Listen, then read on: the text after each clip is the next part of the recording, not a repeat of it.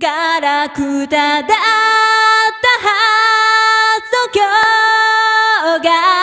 二人なら宝物になる。そばにいたいよ君のためにできることが僕にあるかな。いつも君ずっと君に笑っていて欲しくてひまわりのよ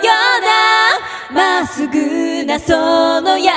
しさをぬくもりを全